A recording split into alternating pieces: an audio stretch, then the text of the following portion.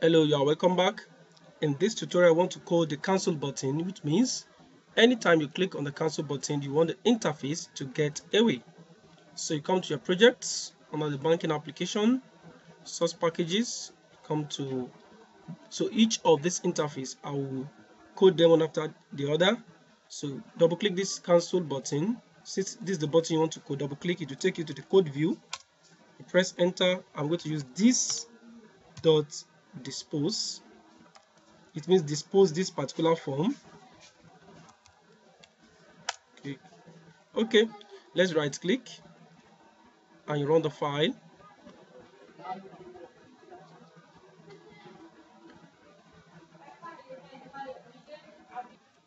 So now if you click on the cancel button you see that the interface is disposed. So let's go to the second one let me check my deposit. Do I have the cancel button okay I have the cancel button. You double click the cancel button. Right press enter. This dot dispose. So the next one my login interface. I also have the cancel button. This dot dispose. The next one login table okay. This this dot dispose.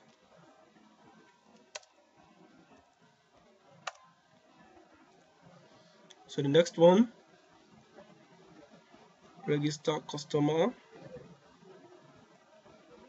cancel button.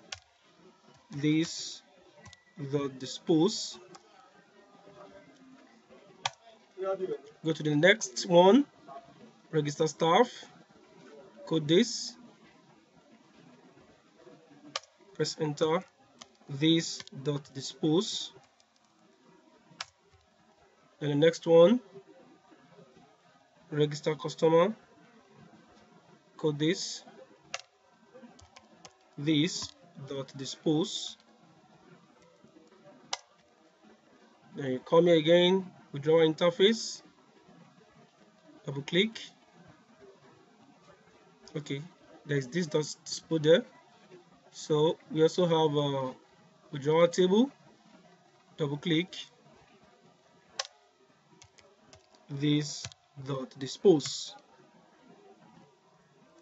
So let us run each of the file one after the other. Let's come to deposits okay let's do it from here.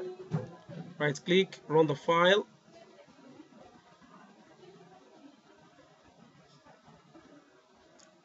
Click on cancel is disposed. Come to this run the file. Cancel is disposed. Right click run the file. Disposed. Login table. Okay sorry. Right click run the file. Cancel this does is disposed. Right click run the file. Cancel is disposed. Right click run file. Cancel is disposed. Right click run file. Cancel is disposed. Right click run file click on cancel is disposed right click run file. Is disposed thank you very much. We'll meet in the next class. Bye bye